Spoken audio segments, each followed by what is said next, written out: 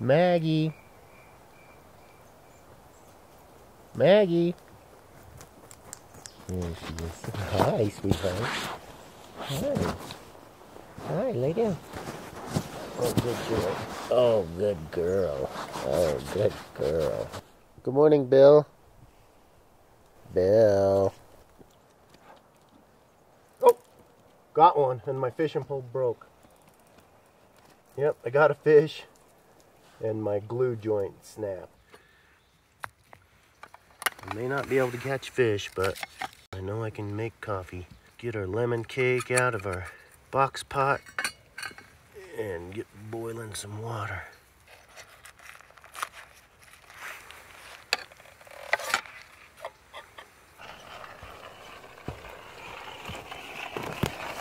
There's that glorious first sunlight.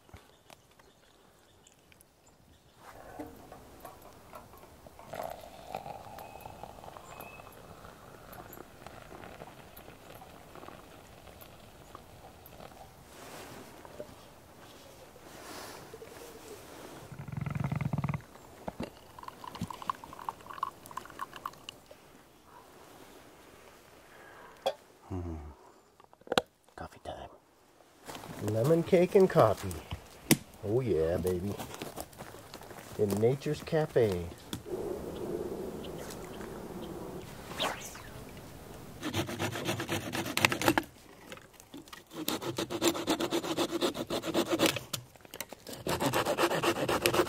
Set up a kitchen fit for a king. I'm going to use my canvas bag so that I don't have to put my cast iron pan right in the dirt. Set up the 5 inch firebox on top of our pedestal. Just like that. So you can see this is a nice deep pan. I think if you cut the backbone out of a whole chicken, I think you could get it to fit in there. Now in order to pull off this roast, I had to custom make a prototype for a rack because I didn't want the roast to be right down there in the jus. I've got a lot of moving parts here. That cutting board wants to rotate.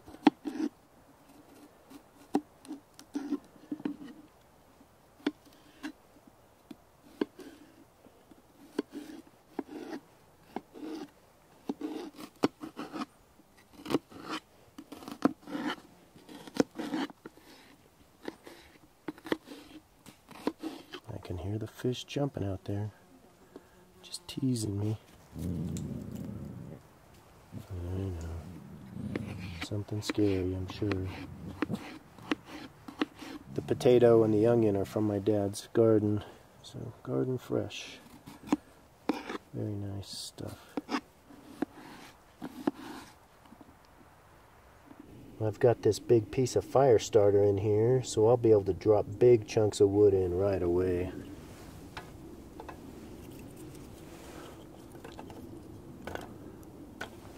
Want a lot of heat right here at the beginning, and then having hot coals will be great. So we'll just go ahead and load it right up.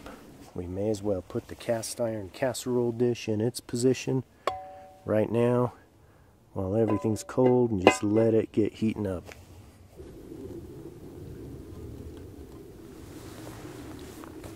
We're heating up nicely. We'll start with this fatty side. Get some fat on the pan.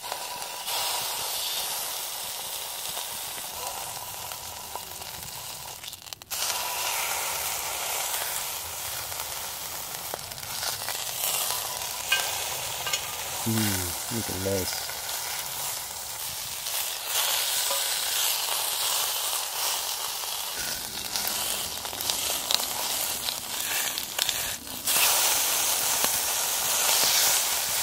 Look at that beautiful beef. Holy smokes. Well, maybe we can just add all this stuff because I don't want the onions and garlic to burn. This other stuff will help cool the pan down a little bit. Keep it moving. We got quite a bit of heat.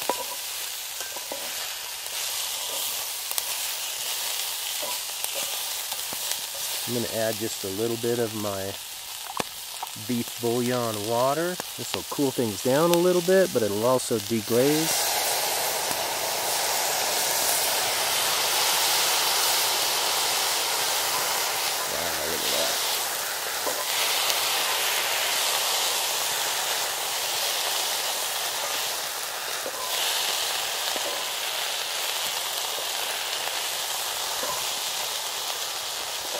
salt just because potatoes are always hungry for salt. I'll put a little pepper as well.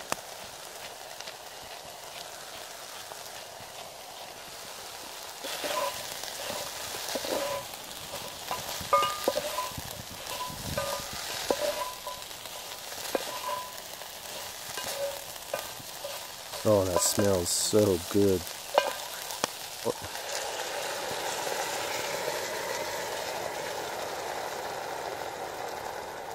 and we'll put the veggies back in a little bit later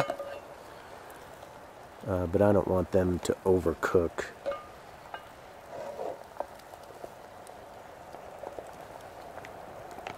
cover up my veggies and we'll just let those sit over here until we've had the beef going for at least a couple of hours.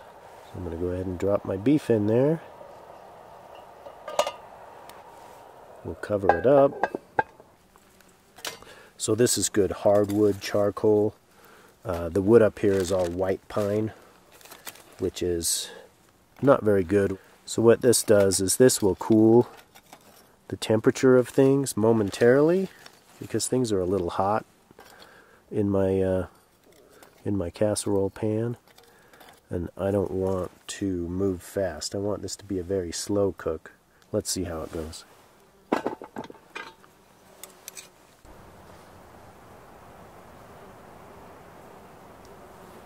I set up a shelter for us and for Bill. Okay, I just refueled the stove. Uh, the temperature got a little low. It's down to 140. Um, the temperature has been ranging between 140 and 190 is the hottest it's gotten so far. And uh, we've been running 2 hours and 20 minutes. The wind was stoking up my fire a little bit and got the temperature going a little too high, so I just took it off the flame for a minute.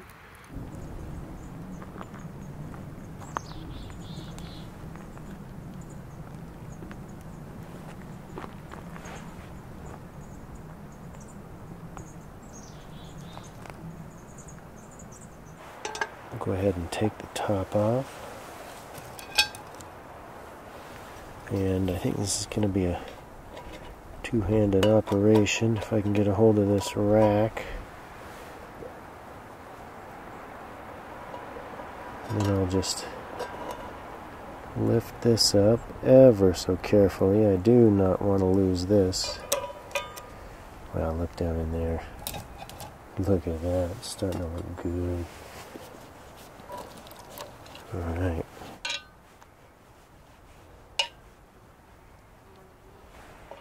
Alright. And we'll just let it finish. We're halfway there. Three more hours.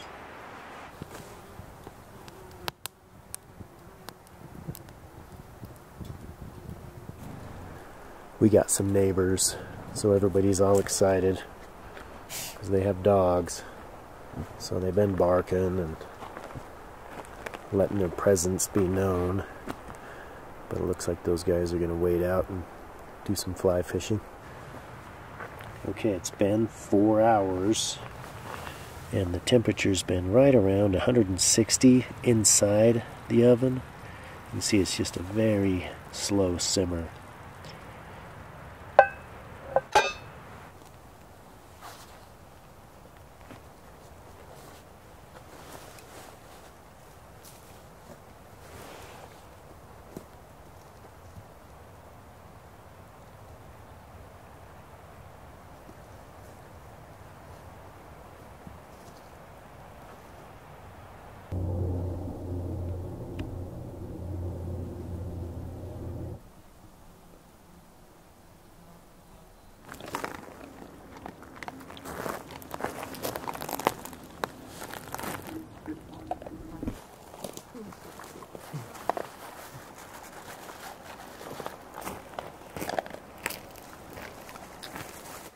Five and a half hours in the making, and I'm ready to eat. So let's go ahead. Turn this over. Okay, let's go ahead and put the meat down in there. Take the rack out. Ho ho ho, look at that. Holy smokes.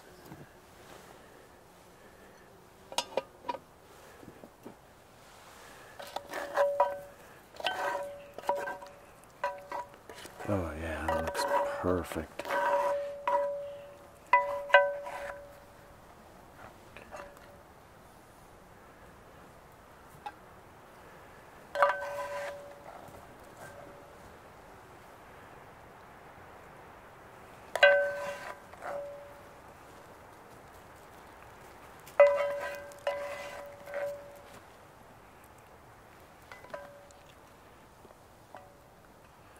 Dump the rest of that out on there.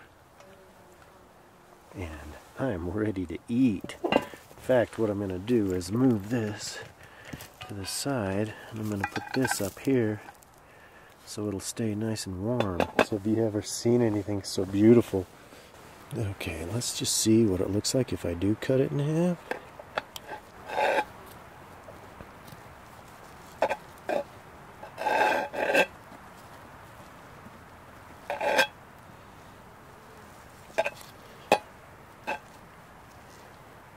Do have a little bit of rosemary. I'm just going to put a little bit of that. Just give it a, a real kind of fresh flavor. I love what rosemary does for beef. And all of this is very beef flavored because of all of that au jus that has been reduced down to just a really nice, kind of a glaze, really.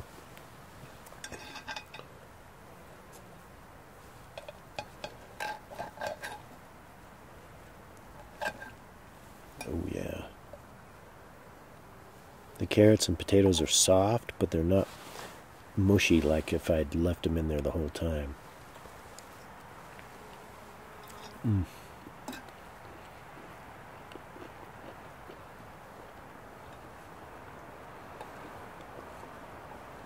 Very good.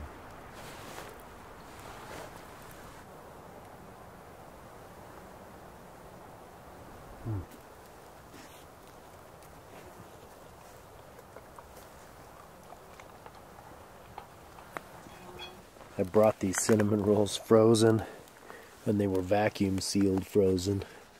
But when they started to rise, they uh, they puffed up the vacuum bag. Pretty cool. When I finally got the glob out of the bag, let's see if I can make them look like cinnamon rolls.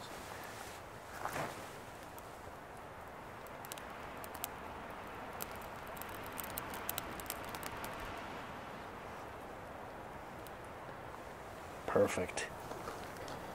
Do a little extra butter on them. We'll put the lid on.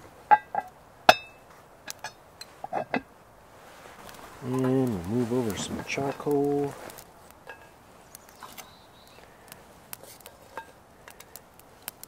All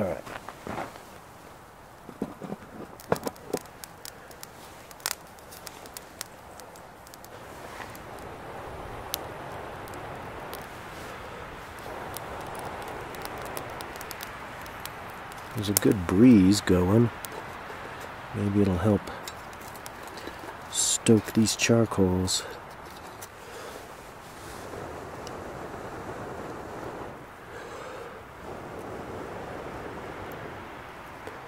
Those charcoals weren't going very well, so I decided to start a fire on top of them, get the charcoals going a little better, get a little more heat up here on top. Let's just take a look, make sure we're not getting too much heat. Ooh, just starting to get brown there in one spot.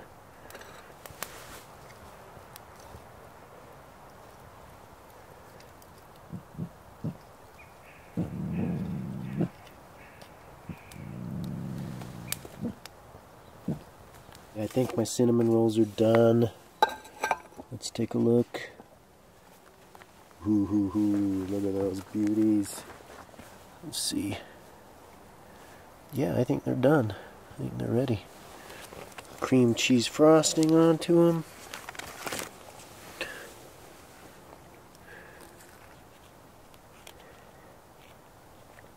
No, Maggie, go on. This isn't for dogs. Especially naughty dogs like you. Look at that. Well, I'll have dessert for breakfast again, it looks like.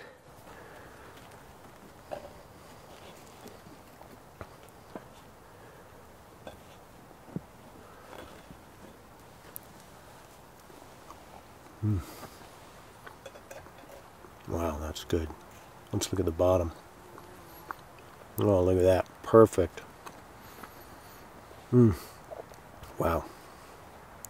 That's awesome. Yeah, those are good.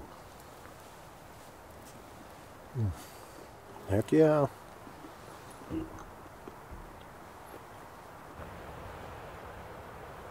Bill seems to like his shelter.